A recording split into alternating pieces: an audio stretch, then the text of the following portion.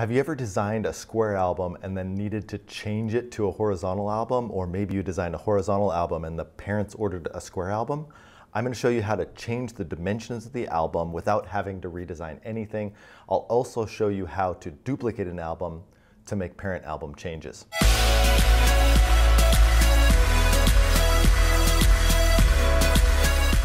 So if you've already designed the album, you can click this little edit icon top left go back up to the album size and then just choose a different size. So I'm going to change this from a 10 by 10 to a 12 by 8. We can also change the cover style and then you just hit save changes and magically the album reformats itself and done. You don't need to redesign anything. You might have to readjust some crops maybe here and there, but for the most part, everything has been done.